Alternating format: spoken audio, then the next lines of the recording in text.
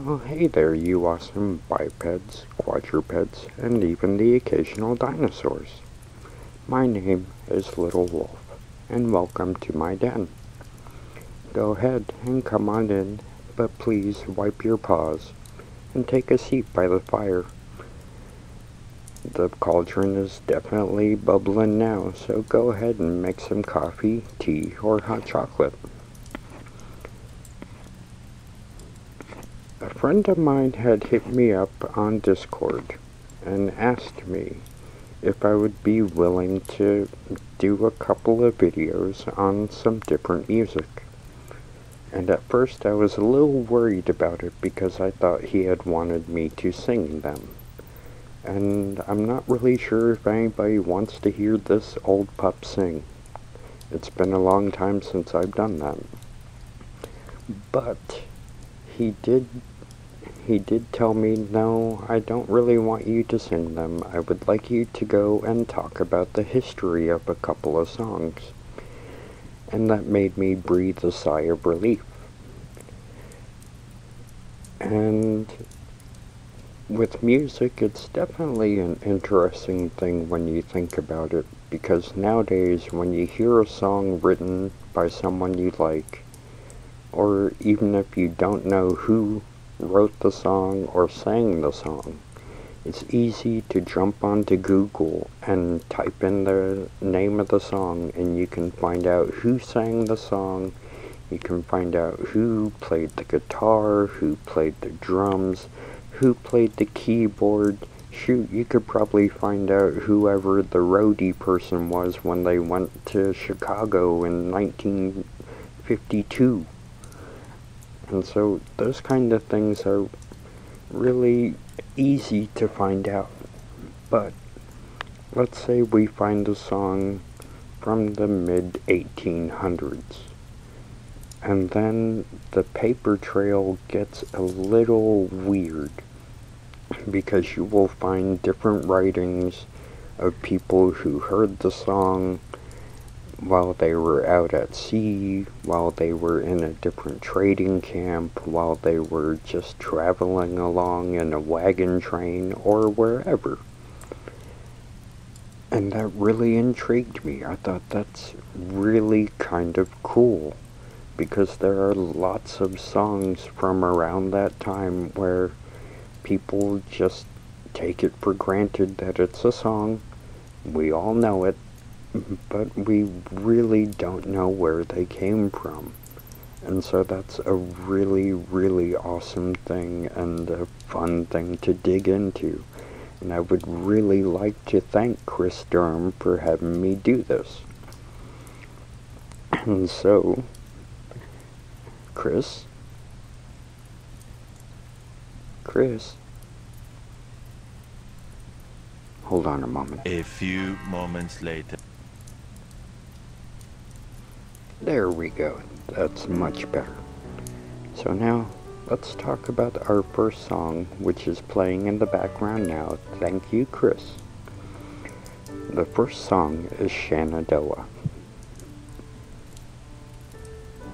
And I did find an interesting article from Ballad of America that talks just about this and it would be easy to go onto something like Wikipedia for this kind of information, but I never go things the easy way.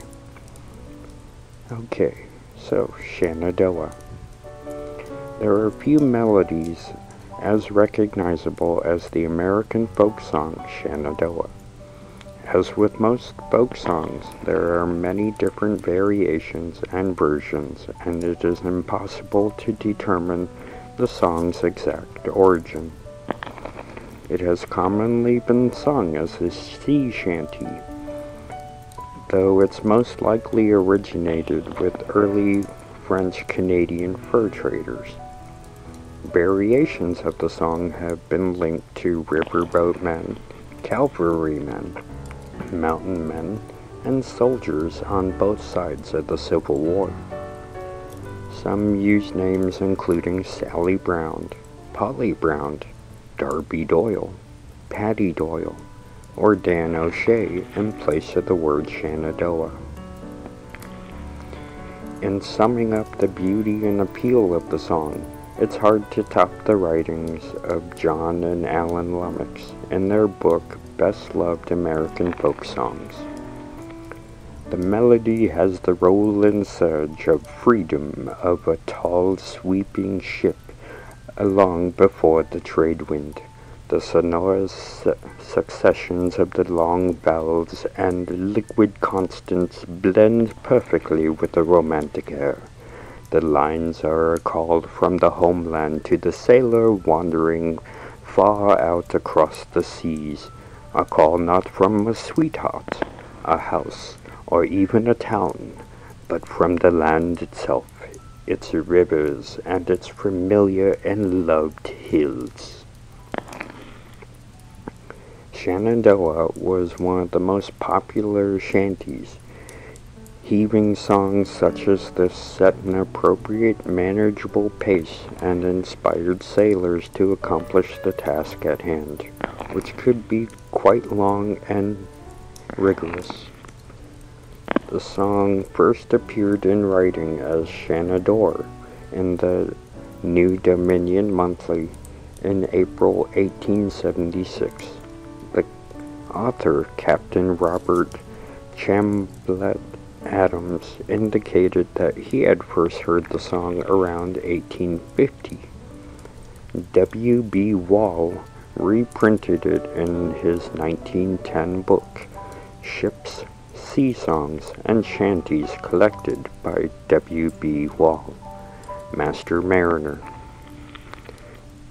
The lyrics tell a story of a canoeing voyager or fur trader who was in love with the daughter of a Native American chief. The earliest known version of the song likely originated with the French Canadian voyagers who traded with Native Americans around the Great Lakes, starting in the 16th century. The voyagers gave weapons, tools, and money in exchange for animal furs, especially beaver pelts. They often sang while they paddled their canoes along the Mississippi River and its tributaries, including the Missouri, in the quest for furs. Most musicologists agree that the chief mentioned in Shenandoah is the Oneida Iroquois chief John Shenandoah. Shenandoah supported the English against the French in the Seven Year or the French and Indian War. Support for the English may be the reason that the chief forbade the love between his daughter and the French trader. If the story in this version of Shenandoah is true, and ferry boatmen carrying goods on the American rivers in the early 19th century may also sung versions of Shenandoah. Sailors on packet ships along the Mississippi River sang while they hauled in the anchor. Eventually, sailors on American clipper ships carried the song around the world. And so, now you know a little bit more about this song. And it actually really is a good song. And I will definitely be putting some clips into the description of this where you can look up the music video for it and hear the words that I have listened to. And this song has really gotten into my heart. It is such a good and beautiful song. And I would like to thank Chris for playing the music in the background. And thank you for allowing me to talk about the history of this song. And we really need to start thinking more about our music that we listen to. Music is such an integral part throughout the history of the world. It brings back good memories, bad memories, happy memories, and so just sit back and listen to this song a few times if you want to, It's such an amazing song. And thank you again, Chris, for allowing me to talk about this. You're such a really cool dude. And to all the people listening here, if you're not subscribed to Chris Durham's music channel, please remedy that. He is an amazing guy. He plays amazing music, and he's really fun to watch. I highly recommend you listen to him. And once again, bipeds, it's time to go. I love all of you. Take care and be safe and be civil. Remember, we only have one planet, so let's try and share it.